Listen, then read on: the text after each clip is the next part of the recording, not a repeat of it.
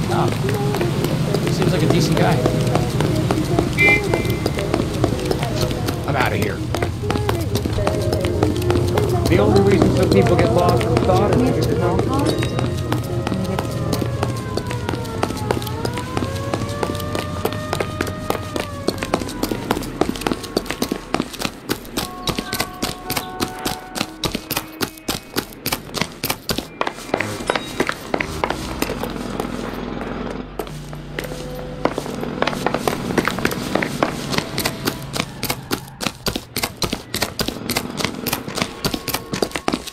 Goddamn Harry thinks he could get fresh whenever he pleases.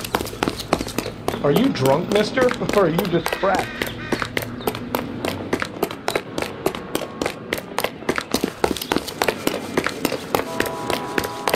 He's only a writer, so he can't really help me.